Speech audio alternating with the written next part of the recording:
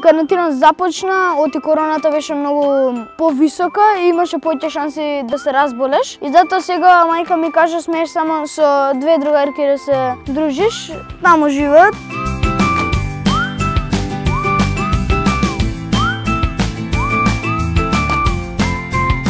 Малку ми фали млада Халка Матеа од школа. Мене највеќе ми фали училиштето и другарчињата. Па најмногу ми фалат како мучењето, ти како подобро да си го развиеш мозокот и да бидеш така да пораснеш убав и добар. Мојата најдобра другарка.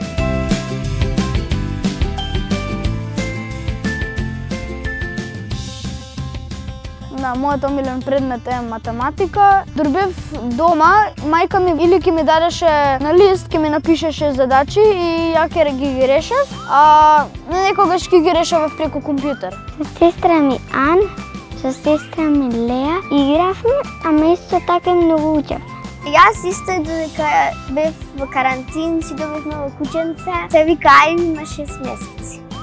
Ја читам книга со кучиња, бидејќи имам две книги со кучиња. Едната ми е од Дедо Мраз, другата ми е од папа.